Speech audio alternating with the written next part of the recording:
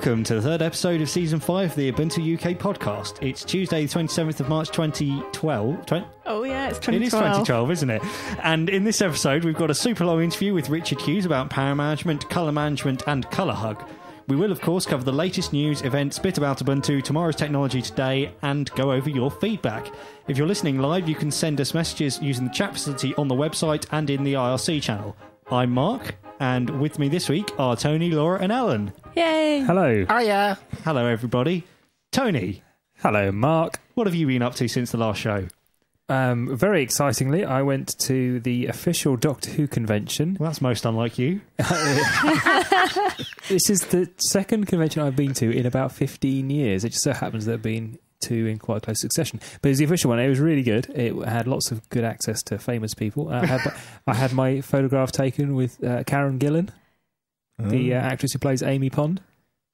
Cool. I might just leave that. Oh He's got my! it here. Oh golly! that look you can see uh, on her face is actually her trying to restrain herself. Do you know what's what's can lovely about the way you've positioned that is that there's a nice mug in front of your face, and all I can see is Karen Gillan, which is good. That's the best way around, isn't it? But yes, she was very friendly. Look, that is It's a just great pitch. she is just trying to restrain us. Hold her back. The security guard was there for my protection, not hers. he was about the fiftieth person to have that picture taken with her. Oh Bless her. It was the end of a long day. Oh, was it good fun? It was very good fun. it yes. was. We went to see the TARDIS. See, I didn't know you were going, and then on Facebook I saw some pictures pop up. Um, because I'm, you know, I'm a, I like Doctor Who, and I saw some pictures come up, and I thought, I know that car. in the not a queue. doctor. That's Tony's back in that photo. It's worrying that you know my back. Moving swiftly on, Laura, other than going to a Doctor Who convention, Uh, what have you uh, been up to? oh, I've been feeling a tiny little bit guilty that I really, really want a Kindle because it is so closed and proprietary. Oh, you mean a, you mean an ah. Amazon swindle? Exactly. but then I get over it because it is so nice to use the app, the Kindle store and stuff. So yeah. So you getting one? Have you got one? No, I want one for my birthday. I'm fingers crossed. I gave mine to Sophie. Did Because yeah, we were bad parent, bad bad parents and left her in a situation where she had didn't have any books to read. 'Cause She, well, she's got loads of books, but she'd run out and she'd read everything. And I said, "Oh, I want something to read," and it was bedtime. I said, "I know." So I went and got the Kindle and went, "What do you want to read?" And I bought a book there and then and just handed it to her, and she sat and read the book. And Daddy, next book. So I bought a bunch of books for her on the Kindle, and she loves it. So yeah, Cool. I can see why people like them. yes. Yeah, indeed. Alan, what have you been doing? I've been testing What have you been testing? Are you allowed to tell us? everyone's patience. what again? uh, Unity, Compiz, Unity 2D, all of that stuff, all that good stuff. So it turns out we've got this tool called Checkbox, and it's been adapted. Um, and there's a version called Checkbox Unity that's in one of the Unity PPAs. And when you run it, it takes you through a bunch of screens, and there's loads and loads of tests that you can do. And it, it basically says, right, now do this, press this button, and move the mouse here, and this is what should happen. Does it happen? And you get three options yes, no, and skip and you you can do skip if it's not appropriate or you don't have the hardware to do the test. And then there's a little box where you can fill in comments. And there's two things. One, I found a you know, a fair number of bugs mm-hmm. in in the various releases of Unity. But the other thing is. I learned loads about how it's supposed to behave because the tool actually documents exactly what's supposed to happen. So sometimes I, I press stuff and I think, well, why did that happen? And I don't remember pressing a button that did that. And then the little tool, if you just go through the tests, you actually learn exactly how the interface is supposed to behave. It's brilliant. It's like documentation. It's really good. so yeah, that's been good fun. I never thought testing could be so interesting. How about you, Mark? Um, I restored something from a backup, Well, hey, which from I your personal I, cloud. I couldn't say that a year ago. Um, and I also got fed up with my phone and decided to install CyanogenMod on it. Because it's been running HTC Sense for the past two years and it was full of stuff. Well, okay, it wasn't full of stuff. It was telling me it was full of stuff and it had a load of stuff which came with the phone which I didn't want and couldn't remove. right. So I decided it was time to uh, refresh it a bit. It's an HTC what? It's an HTC Legend. Right. which no one has And is other it, than me. was it fairly straightforward to flash? It was because HTC provide tools to unlock the bootloader, and Handy. then kind of them. you just run a command line tool to say flash a recovery image, um, and then tell the recovery image to um, install a different system. Nice. Yeah.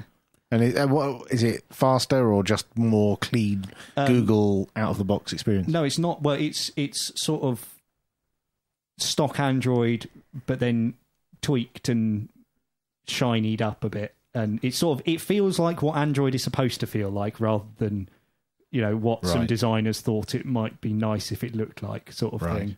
Um, yeah, so it's it's sort of not got any stuff that's been added by the the networks or by the handset manufacturers, but then it's got some like you it's got loads of tweaks so you can do things like um, you know you were talking I think it was in the last season about a thing called f.lux which changed the temperature of your monitor Yes. when it went to night you can have a mode for that on your phone um, and you know you can there's tools for overclocking if you want to do things like that right, and cool. you've got root access if you need to run any fancy programs and stuff like that so yeah it's really cool Yeah. I managed to take a screenshot of my home screen on my phone, and that's not possible. What phone is now it? you see you see on CyanogenMod mod you hold down the power button and you press screenshot Exactly. brilliant But it's not it's not possible without using a, like a thing with root access and stuff. What phone have you got?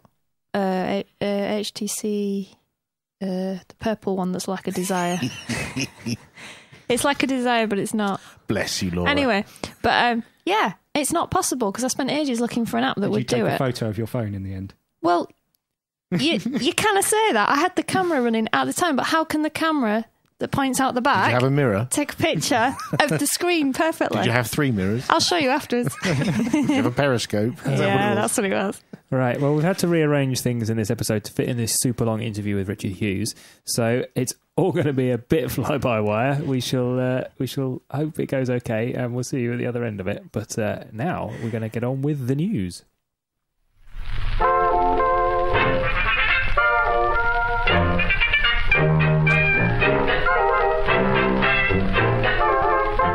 Here are the news. Features from Android's fork of the Linux kernel have begun making their way into the mainline kernel as of version 3.3. This should bring the advantages of Android's modifications to the kernel to other Linux platforms, while making it easier for Android to keep its changes in sync with the upstream project.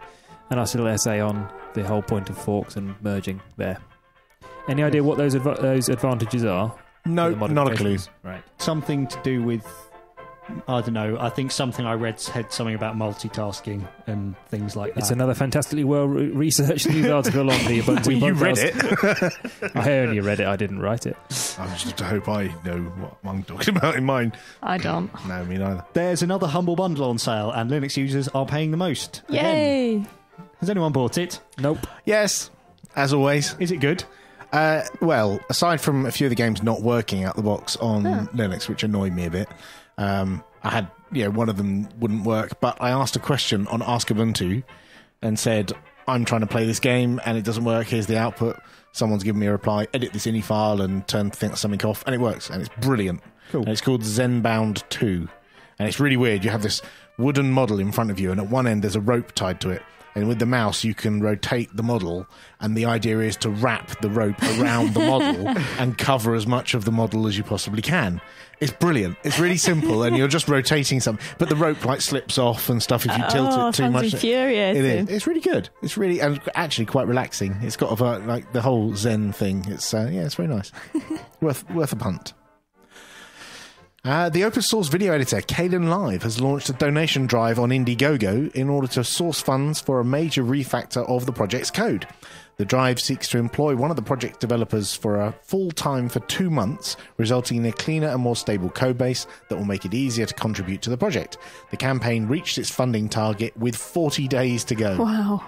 Yeah, Pretty cool. That's very good. but the amount they were asking for wasn't actually an awful lot. something like four thousand dollars. Was it as much as that? Yes, it was four thousand dollars, uh, That's and they've now reached five thousand four hundred and thirty-six, and they've got thirty-four days to go now. For two, for two and a half months, so, months, that, so that's you know that's a couple of pot noodles a day. Keep yeah, it it's not a tremendous amount, but you know, it's motivation for someone to do some work. I'm sure. Mm-hmm.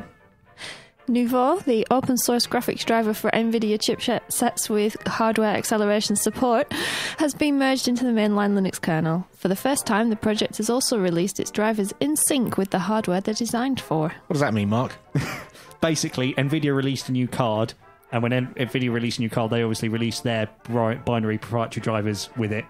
And on the same day, Nouveau managed to add support for the same card to their driver. Like within minutes. Within hours. That's really unusual. Normally, you know, in the past, it was, oh, you need to send us a card, we need to analyze the dumps, and Yeah, so, So- a guy at Red Hat apparently it's, it's, it was only sort of basic sort of mode setting support, but he managed to add it pretty much straight away, which came after last week we were talking about Nvidia joining the Linux Foundation. yeah, this is good. So perhaps Yeah. they uh, are actually getting stuck in. Yeah, You never I know. I do hope so. That'd saving good. everybody from analysing those dumps.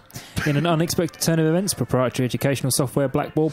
Uh, software provider Blackboard has acquired two companies providing commercial services for Moodle, a competing open source virtual learning environment, and employed child Dr. Chuck Severance, who was heavily involved in development of the Saki collaboration and learning environment. Sakai. Saki sounds more like more fun to me, which is also open source. In a blog post, the president of Blackboard Learn spoke of embracing open source through a multi-platform product ladder. Multi-platform product ladder. That means get them in the open source and then upgrade them to the proprietary stuff later. Is that what that means? Yes, or buy out the people who are competitors, and then they'll stop working on. Hmm. This isn't. He didn't buy out the whole of the competitors. This is like Moodle is owned by a trust, and then they have partner companies who fund the development. They bought two of the partner companies, basically. So, Ouch. so it hasn't taken over Moodle; it's just made a massive hole in their development uh, capability. Well, That's a bit rude. that's only if it stops them developing it, which they say they go they want to buy these companies because they want to get involved in open source development. Yeah, and apparently they've got really nice wallpaper in those companies as well. Really keen to get their hands on the wallpaper. So yeah, let's hope that they do an IBM rather than an Oracle. Yes, and that's all the news.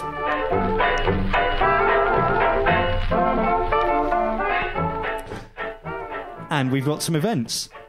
The Ohio Linux Fest is in Columbus, Ohio on the 28th to the 30th of September. And you can find out more at ohiolinux.org slash CFP. I'd like to tell you about Barcamp Canterbury. Go on the then. event is a two-day barcamp on innovative slash fun uses of technology and will run on the 28th and 29th of April, that's not too far away, at the University of Kent in Canterbury, which is only about an hour out of London on the high-speed train. Thank you for that travel tip there, Tony. That is, that is calling at... And two days before that, there's the UK Ubuntu release party at Bar Soho in London, I assume. Yes, it is. on Yeah, the that's- Thursday in London, Yes. so I won't be going. Well, that's the release day because we always release on a Thursday. You see. Why? How convenient. Uh, do you know what? I don't know. Friday would be far more convenient for us. No, I, I think there's a good reason why we don't do that, but I haven't got a clue what that reason is. Okay. Also, OggCamp is happening. what? This is our thing. Gasp! Yes. We're organising OggCamp again this year. And uh, this year we're back in Liverpool at a different venue. We're going to be at the Art and Design Academy, part of Liverpool John Moore University, on the 18th and 19th of August.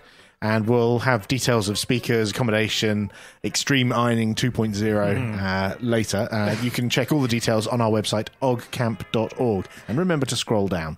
So, I love the fact that somebody's felt the need to you put Liverpool John Moore University then in brackets in Liverpool. Just in case there's any doubt. so the important thing to notice and get in your calendars straight away is the 18th and 19th of August. Yep. Yes. yes. And when you say about accommodation, um, we're Yes, actually we're hoping gonna to have s- a recommended. We're going to have a place. recommended hotel um, and um, all kinds of um, other information on the website. Excellent work, OggCamp people. Anything more to say on it? Um, not yet. More to come in Excellent. following weeks. Okay.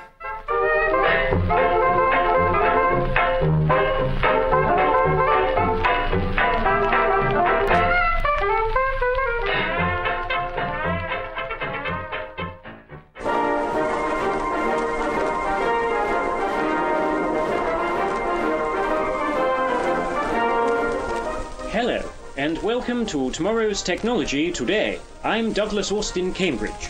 Good day to all our listeners, wherever you are around the British Empire. In today's look at tomorrow's technology today, which we recorded yesterday, we'll be telling you about all sorts of technology you can expect tomorrow or the day after that. First off, news from the Imperial Victor Motor Company of Sutton Coldfield. They tell us that by the year 2000, we shall all be owning the driverless motor car, a high speed vehicle capable of self navigation. From your home to your place of work, and any destination betwixt and between, you will be able to sit in total comfort, smoking your favorite pipe, safe in the expectation of an incident and accident free journey without any danger of collision or indeed death. So, you can give the car key to the good lady wife without worrying if they'll both make it home. Splendid. And on the home front, uh, please welcome our doyen of the domestic, uh, Deirdre Morris Oxford. Hello, Deirdre. Hello, Douglas.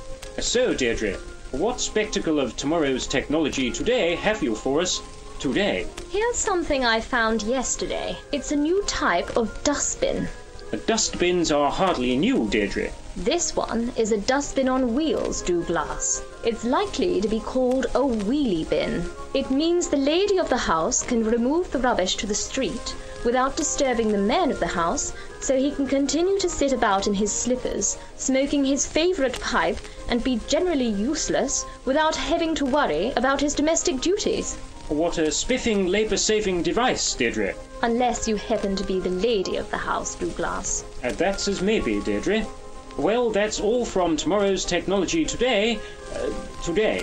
Toodle Pip and God Save the King. I can't believe I gave up research in theoretical physics for this. This. Rubbish, Deirdre? Oh,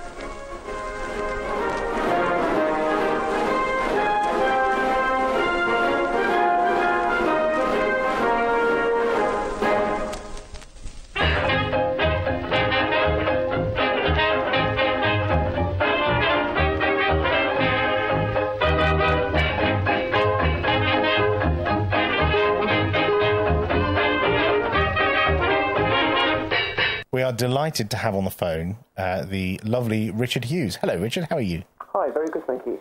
Cool.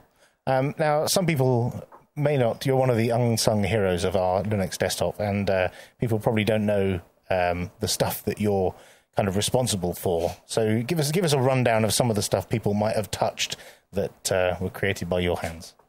Um, I guess it start, I start from the top. I guess I started with UPower and GNOME Power Manager, then moved into Package Kit and then GNOME PackageKit, and then moved into ColorD uh, and then all the color stuff, so shared color profile, shared color targets, GNOME Color Manager, and that kind of took me to the whole ColorHug thing as well. So, so did you do all this as part of your employment at Red Hat, or was this before you started, or how did, how did that all work out? Well, at university, I started doing the whole UPower thing. I started stuffing in the kernel, stuffing user space. Um, I think GNOME uh, Power Manager was also at uni as well. Uh, and then after uni, I went to work for a defence contractor. Uh, and it, everything went a bit quiet open source wise. The Red Hat said to me, Look, do you want to work on cool stuff in open source? I kind of jumped at the chance. So ever since then, I've been a, a, a programmer for the desktop group based in London. Excellent. And what, what sort of stuff are you working on at the moment in your in your day job as part of like desktop? It's quite broad. Are you, are you still focused on the stuff that you mostly created? Um, yes and no. At the moment, the, last few weeks have been sort of the big push has been on GNOME 3, uh, 3.4.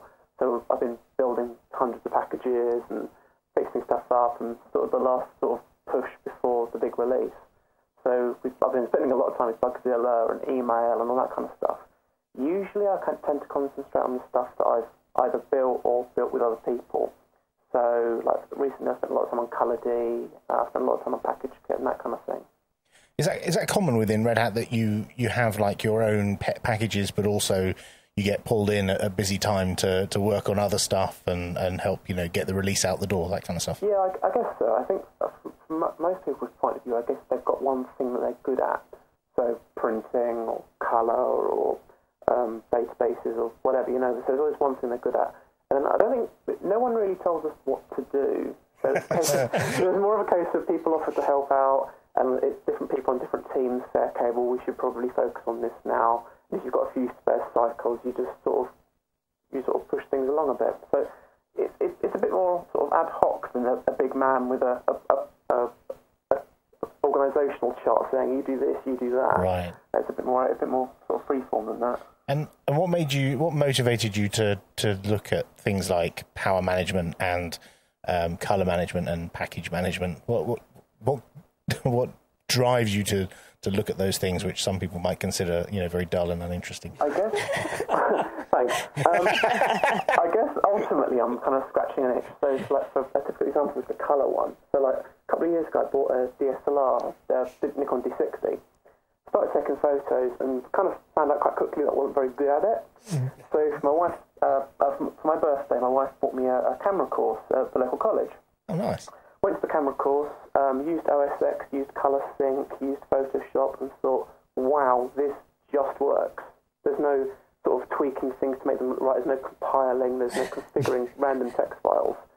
And then I went to try to do like almost like the homework on my Linux machine, and it just failed miserably. It was just completely wrong. All the printouts came out the wrong colour. Everything looked wrong on the screen.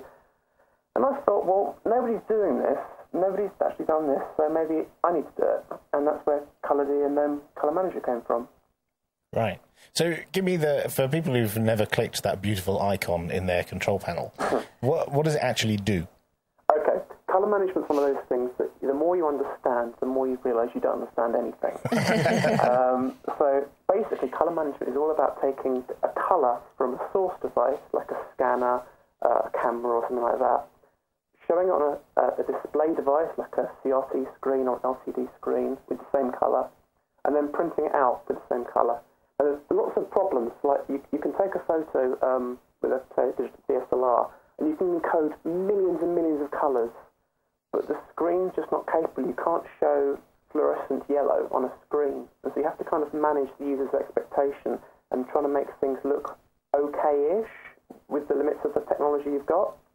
And also, when you print stuff out, you might not be able to print because obviously your, your screen's in red, green, blue pixels, but your printer might only have cyan, magenta, yellow, and perhaps a couple more. And so you you can't print some colours. You've got to try and say to the user, okay, well this is the closest I can get by tweaking these colours.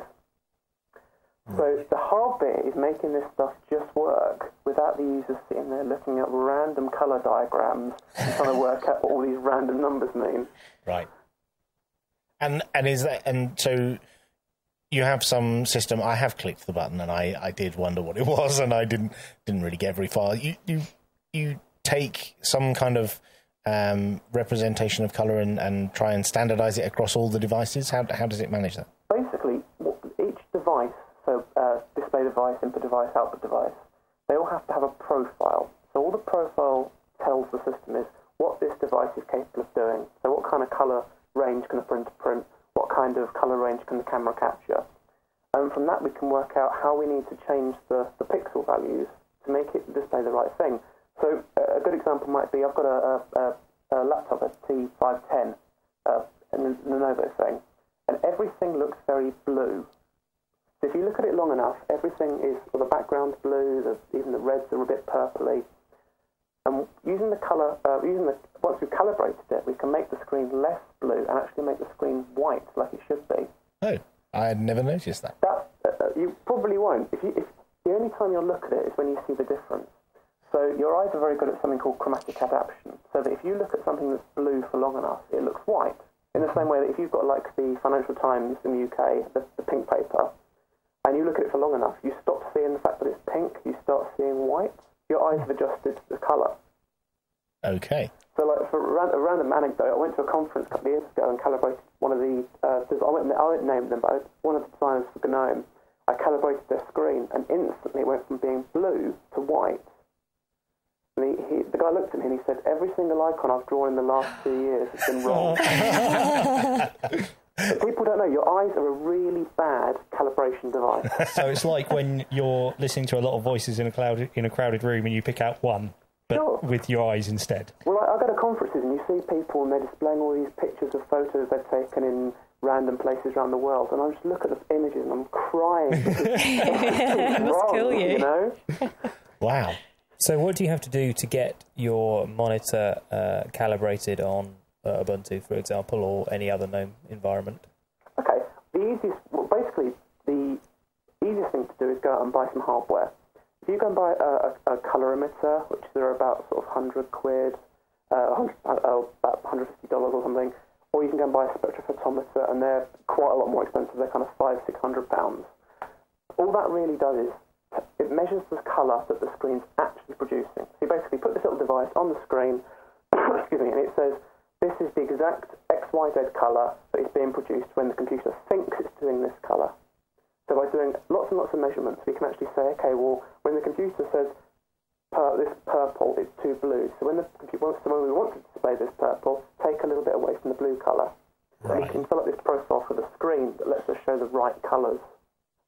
And is that is that something you would have to do per model? So, like all of the ThinkPad X220s would be the same color representation, and all of the System 76 machines would be different because they're a different panel. I'd love that if that was true. Right. The problem is, from someone that's got dire experience of sitting on a T61 and smashing the screen, uh, I can tell you there's about four or five different panel manufacturers on two different continents in four different factories. So every single manufacturer of the, of the panel has a slightly different um, set of uh, dyes in, in the screen, has a different um, colour of the backlight, and the screens are very different. So that's one big problem. The second big problem is that the screens change as they get older. So you might have noticed that your screen gets a bit dimmer as it gets older. Yeah. But it also gets more yellow as it gets older.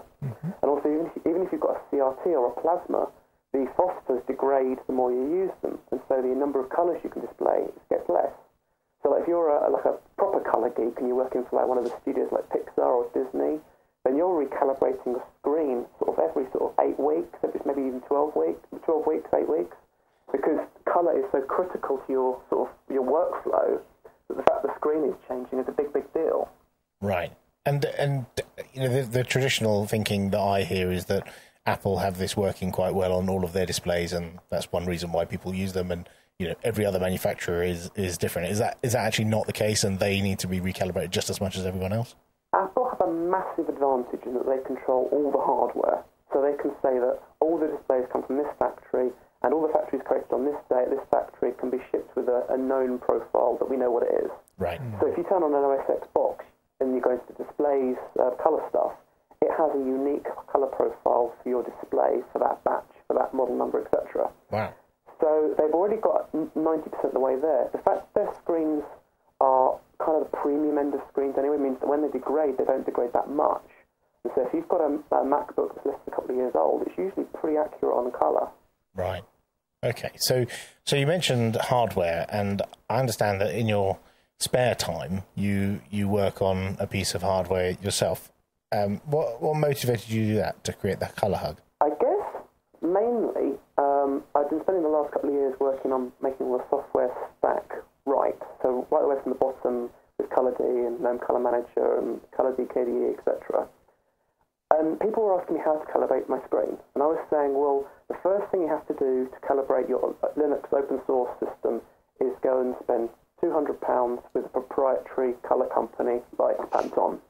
Right. And it didn't seem right saying to people they have to spend all this money on such a simple device hmm. To do something as simple to make their screen less blue. And when when you say a simple device, what what actually? I've seen the the device. It's quite tiny, so there can't be that much in it. So it's literally not in it. What what is in it? a little de- a little device that I came up with basically has a little colour chip in it, which has I think it's uh, 16 red, 16 blue, 16 green little pixels, and it measures the exact colour that's coming through.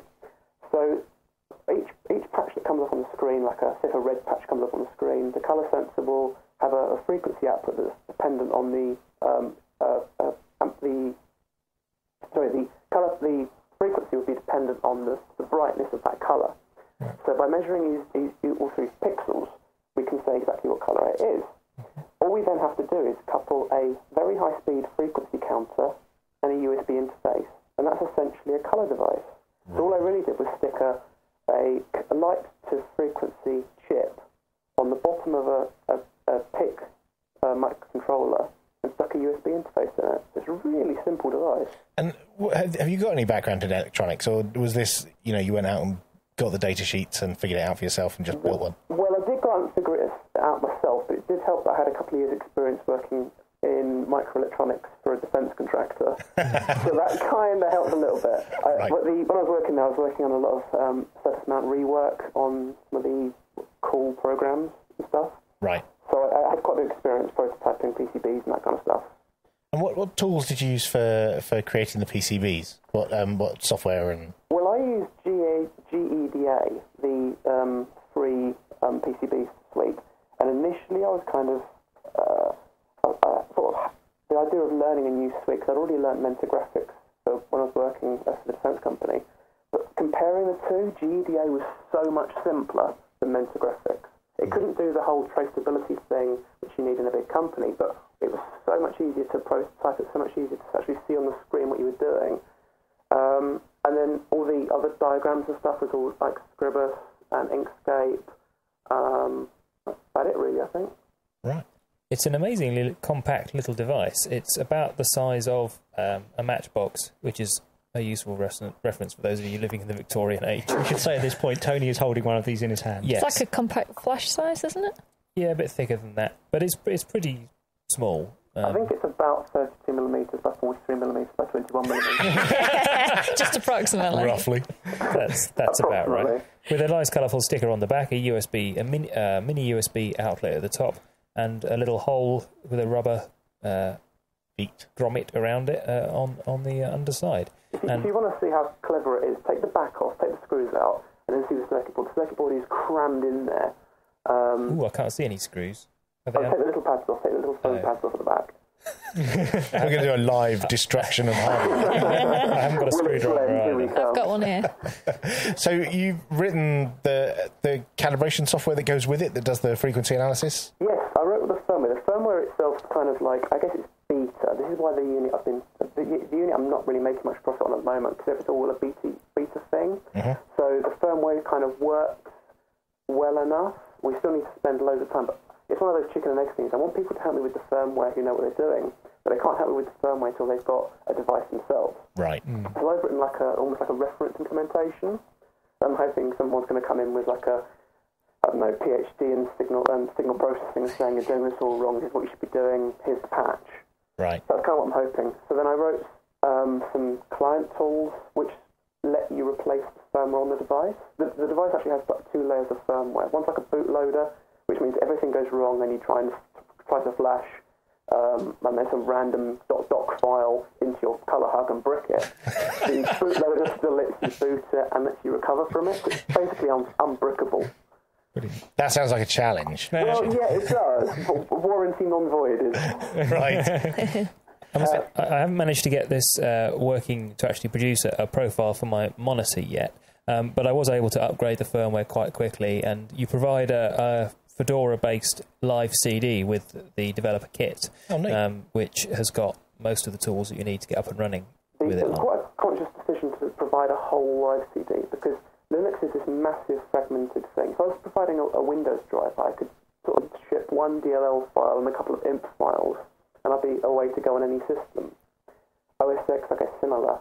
But with Linux, people have got like random PCs with Debian mixed with Gentoo on the same system, and it's all a bit crazy. Yeah. There's like uh, Ubuntu running one thing, Fedora running another thing, different UDEV, we've got System D, we've got all sorts of stuff going on everywhere. If I, if I can send everyone a CD that I know works with the hardware, when they come back to me and say, it doesn't work on my system, I can say, well, does it work with the live CD? Yes. Well, then it's your system. So if they create a profile using the live CD, well then will that then work for their device on any GNOME desktop? Yes. So an I, the, the profile it creates is called an ICC profile, mm-hmm. and that can even be used in Windows and OS X. Oh, the trick is you've got to copy it off KDE? the live CD. Yeah, there's a, there's a KDE.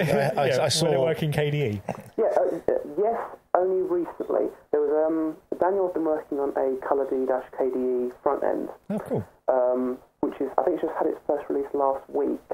So it's still a bit raw around the edges. But it basically works as well as the GNOME tools without the calibration stuff yet. Cool.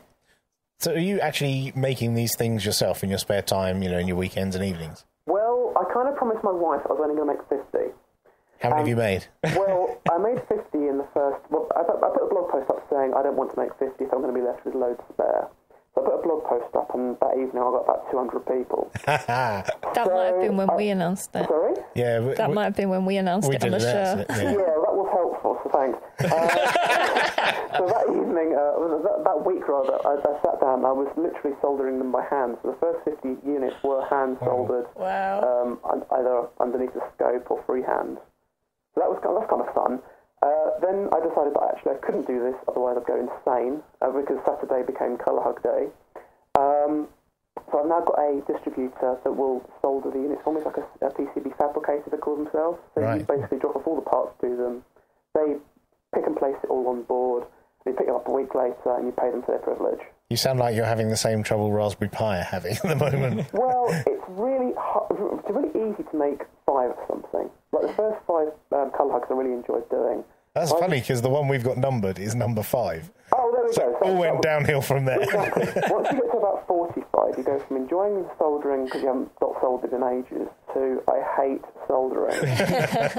so, yeah, so now the fabricator's kind of taken over. So I've dropped off a batch of 200 PCBs last week, and hopefully I'll get them back this week, uh, and then I can start putting them in boxes. I say, I say putting them in boxes myself.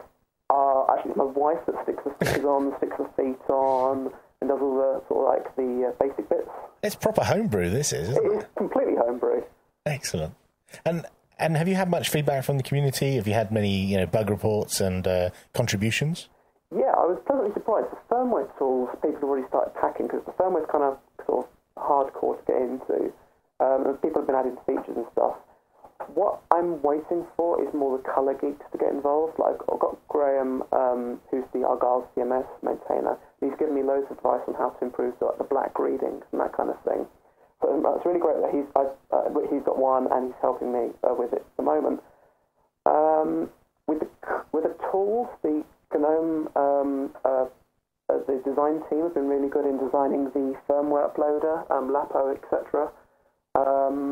The CCMX loader was also was designed by them as well. So yeah, everyone's kind of got involved because they know what I'm doing. I'm not trying to make a massive profit out of this. Yeah. I'm, I'm, last, like last week, I was the first time I could pay myself any money for my time. Um, I think my, the average I've paid myself so far for my time something like 20p an hour or something.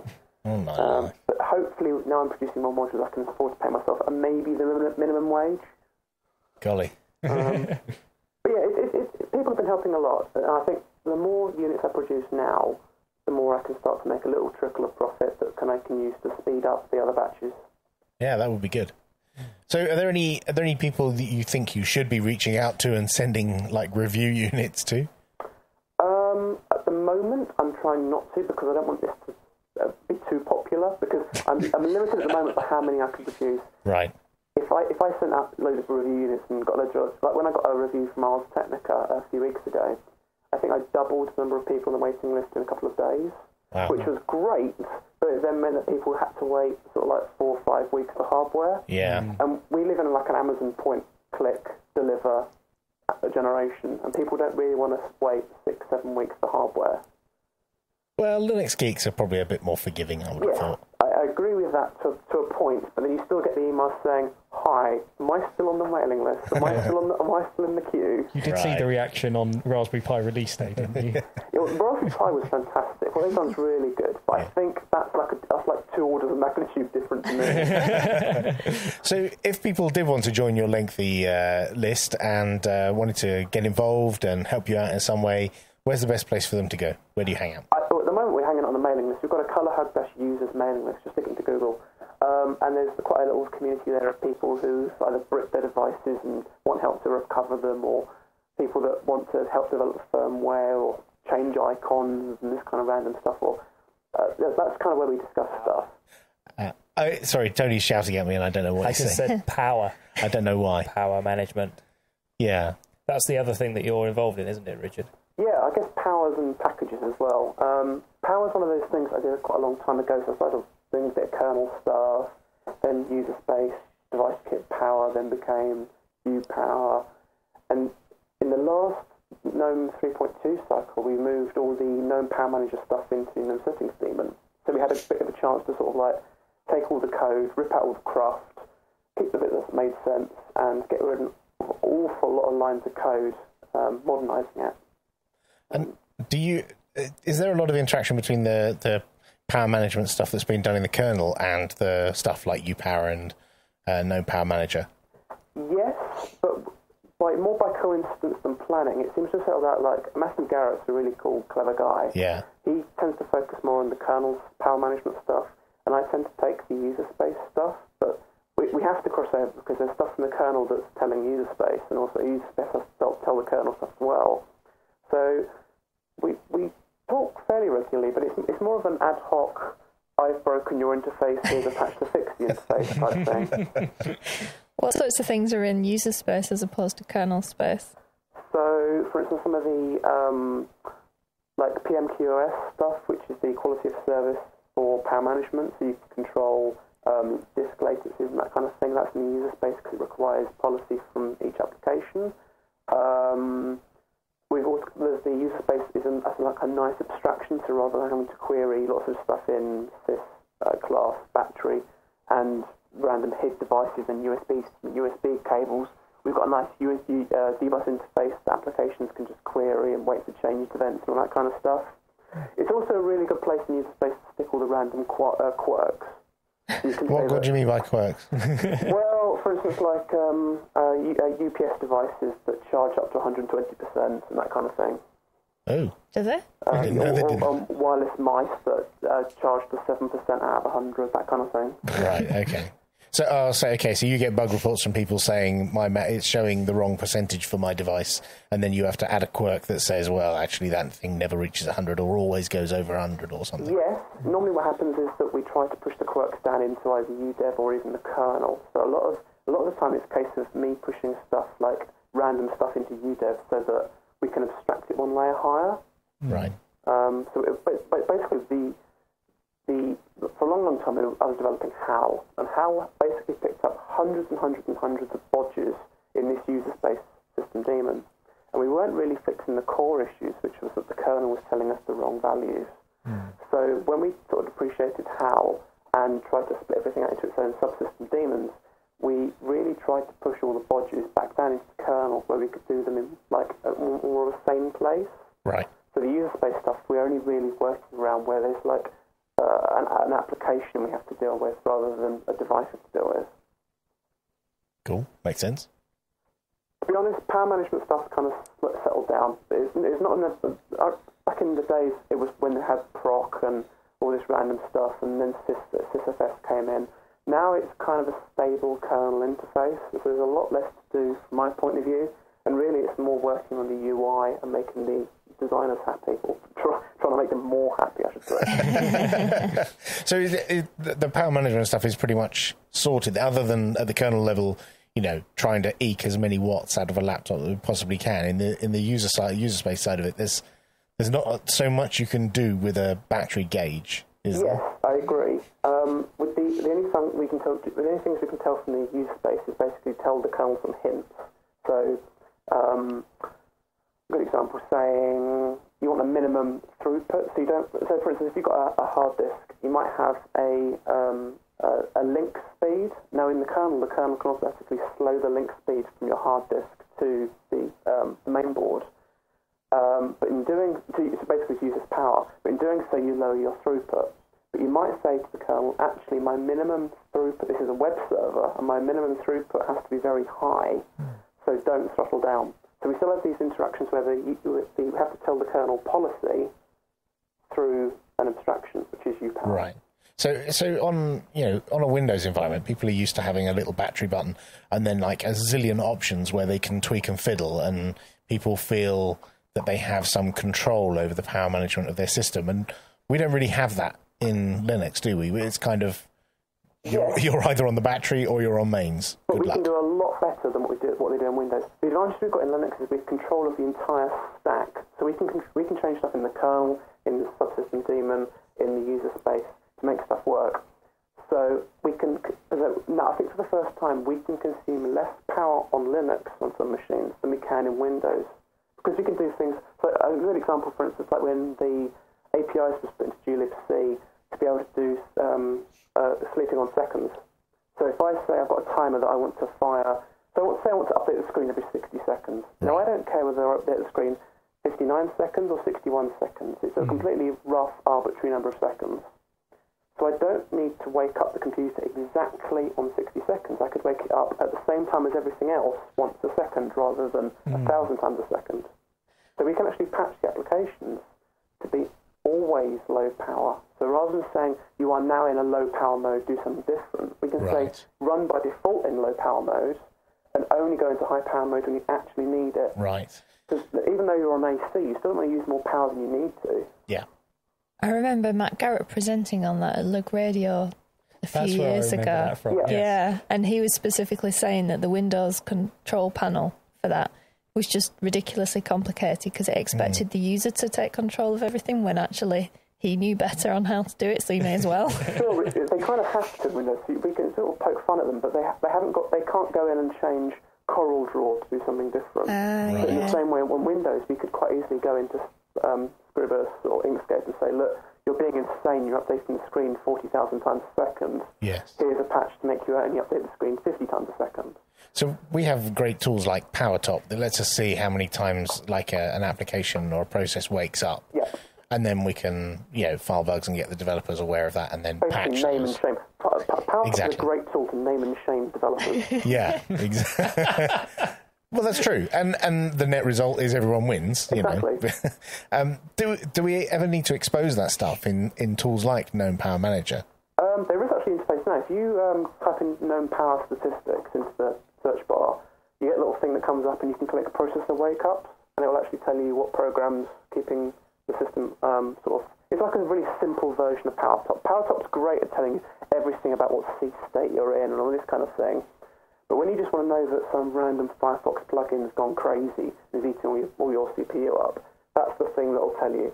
Right. Now, for 3.6, we're probably going to be merging the, um, the, the battery device things in GNOME Power Statistics and also the wake up thing into the GNOME system tool because it's really, there's no point having two tools that are doing very similar things. Yes. So that's probably what will happen for, for, in the next few months. Oh, that'd be nice having it all in one place. yeah, sure. Le- and also less resources. And also, also means I don't have to do a tarball release every month. Cool. Okay, I think we've uh, we've covered everything we uh, we wanted to. It's been uh, it's been fantastic having you on the show. Thank you so No much worries. for uh, spending time talking to us. Really appreciate it. Thanks a lot. Cheers then. Bye bye. bye. Bye.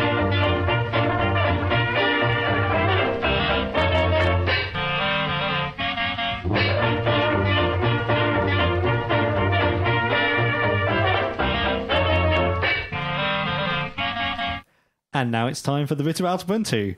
Um, Mark Shuttleworth has blogged about some statistics showing Ubuntu overtaking Red Hat Enterprise Linux on public web servers over the past year. And Alan, you look like you've got some comment. No. Ubuntu rules of the world. Does it? Well, it, if you zoom out, then, then there are other Linux distributions are available. Yes, um, but I think the highlight that he was trying to make is that you know, whilst Red Hat was in a kind of downward direction on that graph and Ubuntu was on an upward direction, I think he wanted to highlight that. Uh, without highlighting the fact that Debian is like a mile above us, and there's a load of other distros on that chart as well. I think uh, Stefano, the Debian project lead, has also blogged about it and uh, kind of zoomed out and showed a bigger picture as well. Yeah. And uh, you know, yeah, it was quite good fun. That Ploum, the developer responsible for the Getting Things GNOME task manager, has written a blog post entitled What if Ubuntu Were Right? discussing the switch to Unity and whether anyone other than geeks care about desktop environments. I suspect the answer is no. That's basically what he concludes. yeah, it was an, it was an interesting post. Coming from the uh, the the point of view that actually maybe Ubuntu knows what it's doing. yeah, Yeah. basically.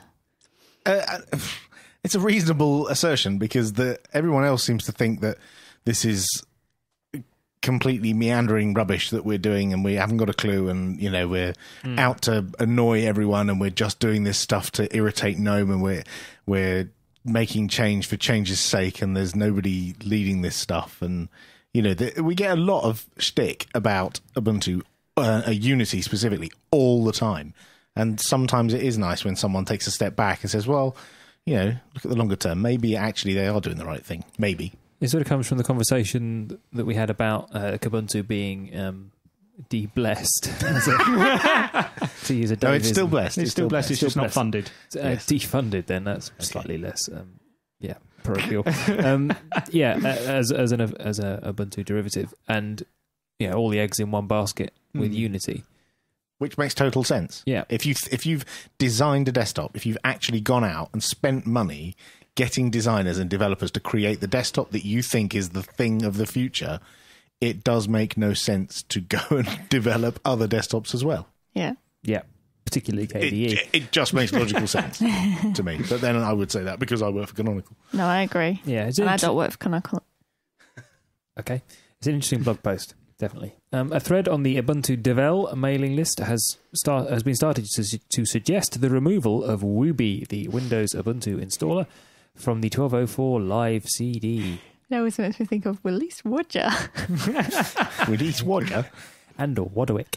Uh, so yeah, so the this is so that when somebody puts in the Ubuntu CD into a Windows CD, it comes up with a little thing saying blah. You can reboot to a live CD, or you can install Ubuntu from within Windows, and it does the repartitioning.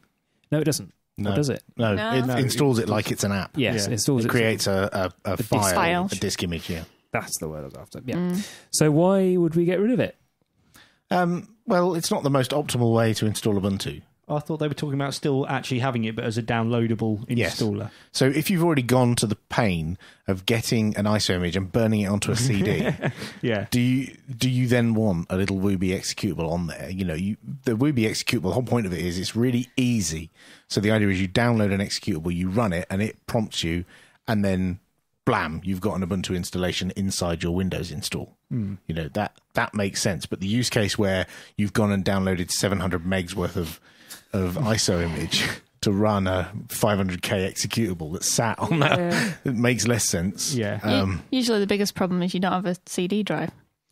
Yeah, well, you could put it on a USB. You know, you could go and download a piece of software that allows you to put that ISO image on a USB key, so that you could then plug the USB key in and run the 500k executable that's on. Yeah, it does. It just doesn't actually make sense. I guess Really. Windows users are familiar with the model of downloading an exe and clicking Just it. running yeah, it. I mean, you might you might be given a set, but that's the other thing. If you order a CD from ShipIt, you're well, you won't now because we don't do ShipIt, you know, as much now. Um, Yeah. You might get a CD at a um, a conference, but even then, the idea is you put the CD in and boot off it, and you know, get a decent install or a dual boot install with the you know partition disk and all that. So it's only 500 meg. I don't know how big it is, So but. I was just making the point that it's rel- relatively small compared to the size of an ISO image. Yeah, it's quite small. Former Kubuntu maintainer John Riddell has blogged about how KDE and Kubuntu, how the KDE and Kubuntu projects can remain relevant in the modern consumer software market. Mm. You wrote that. I did, and I can't even say it. Okay, how can they remain relevant in the modern consumer software market? Well, you can read his blog. By being on tablets is the short answer. Let's yeah, that was part. He was talking Right. about uh, Plasma Active, which Yeah. is their new tablet um, interface UI, um, and Kubuntu has released a release for tablets. Oh, okay. Um, and yeah, Yeah, it's the the Plasma Active that's going to be used on the Vivaldi tablet that Aaron Seigo has blogged about, which was called the Spark. And they've changed the name for legal reasons, I think. And he also talks about other things like, uh, you know, making sure that um, sort of the KD libraries are interoperable so that they can, like, in the same way that um, Ubuntu now uses, well, it has Qt and you can have Qt apps on Ubuntu nice and seamlessly. He's talking about making it so that if you wanted to have some KD libraries included in the Qt stuff, you could do that easily. And Yeah. yeah, stuff like that. okay. The winners of the 1204 Ubuntu wallpaper contest have been announced, with 16 new photographic wallpapers being chosen for the upcoming release. That's good. That's very good. And they're pretty as well. That's even better. Yes, that's always nice. They don't look like splodges of vomit on a purple background. No, there's an orange one that does a bit. Oh no, he's a guitarist. Never mind. no, there's, there's some nice ones. There's like a, a real mix of uh, of color, and um, it's th- one of the ones that I really like. Isn't in the list, unfortunately. It's the the pangolin in a blue forest that I quite oh, that's like. quite nice. but it's probably a bit bit too dark for most people. I'm sure Yes. people like bright, you know, upbeat Whereas you I can know.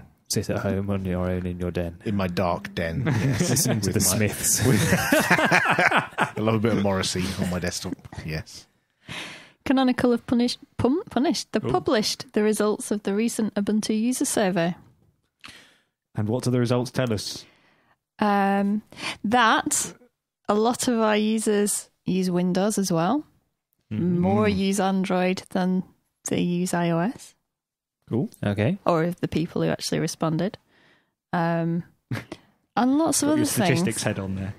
Yeah. Yeah. Yeah. I don't, I, don't, I don't think we've learned a lot from those that we we couldn't probably have already figured out. Really, have we? Yeah, but it's about having the data Yeah, true. as yeah, opposed true. to guessing at it. Well, uh, okay, yeah. So what I mean is, nothing is really massively Nothing's surprising. We know we were right. yeah. uh, what else does it say? Mm, Are we going to read Oh. it now? Ubuntu One usage. Oh yes. It tells you about that. Cool. Are people using it? Uh, some are you. Right. Mozilla have been discussing including support for H.264 video decoding in its browsers, including the mobile-focused boot to Gecko platform by taking advantage of widespread hardware and OS support for the codec. Now, they originally said they were not going to do this and they were going to support WebM, Yes. and they do, Yes. But nobody else does. No. Well, yeah. Um, having read quite a few bits about this, essentially they were assuming that Google would, as it said it would, basically drop H.264 support and make WebM the format for the the web video, but then they didn't, and now Mozilla are sort of out in the cold and. They can't really compete on mobile if they don't support the video hardware. And given that the video hardware, you know, if if you- you've paid for a device with a DSP chip in which will decode H.264, then Mozilla aren't, you know, exposing the user to like patent licensing by using that chip. Because that was the thing they were always saying. They're not going to do anything which might then turn around and bite the user by making them have to pay fees for something they've included. Given Whereas- uh, that it's the hardware that's doing the exactly. Or if it's the underlying OS, if you buy a Right. copy of Windows, it you you can. I think it has Offload it has H two six four support in as part of it. I think I can actually see your beard getting longer while you were saying all I'm that. actually very happy about this news because this is one of my predictions uh, in the, at the last show. oh, You could have just said that. So that's, you've got one right, and I've had one come true. So I can't even remember what mine were. yes, keep listening till the end of the year, and we'll let you know who's right.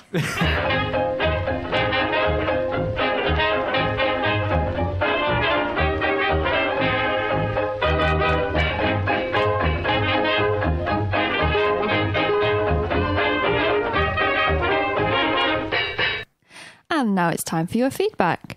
Jason Simmons commented on the website.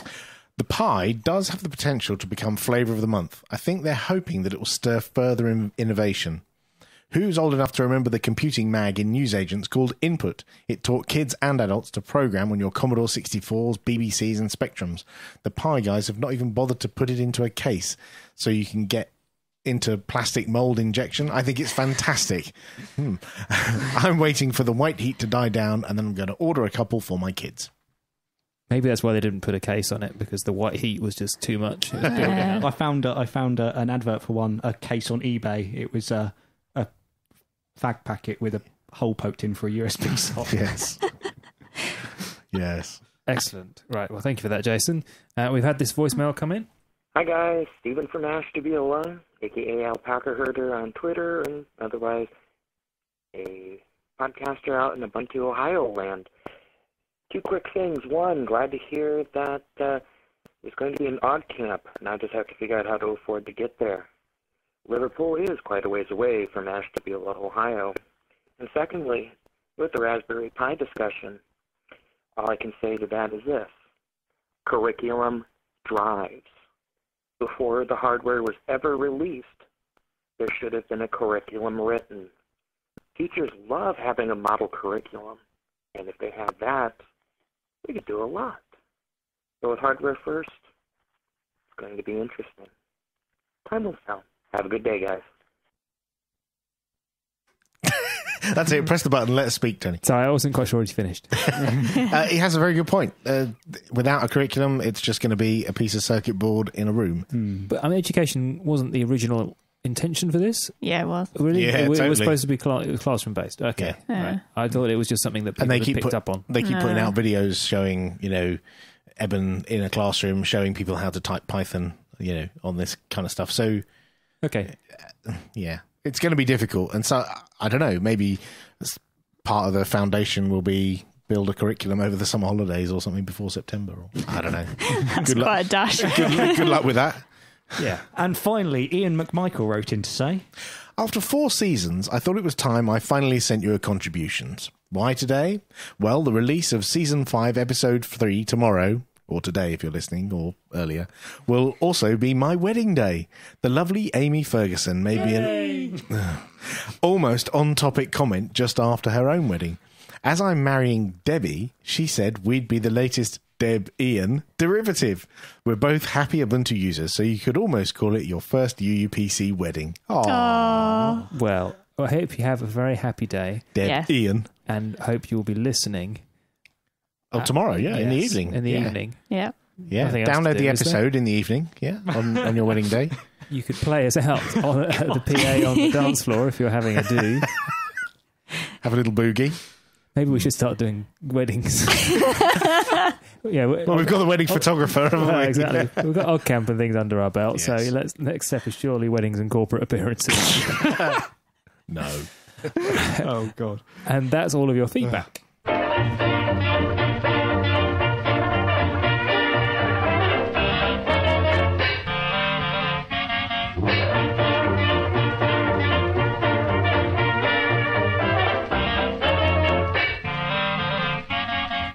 That's all for this episode. Thank you for listening. You can find out how to get in touch with us on our website, podcast.ubuntu-uk.org. Really trips off the tongue, including voicemail numbers and Twitter feeds, Facebook and IRC channels. It's not, not plural, it's just one IRC channel. Let us know what you think of the show or give us your thoughts about Ubuntu and the community around it. Really just send in anything and we're likely And we will play it. we are very likely to play it or read it out on the air. You can join us on Tuesday, the 10th of April, for our next live episode. Of pure quality, edited to perfection. Maybe. We do, we do this live. When we met all these Doctor Who podcasters over the weekend, they refused to believe that we did this live. They Yeah. obviously haven't listened.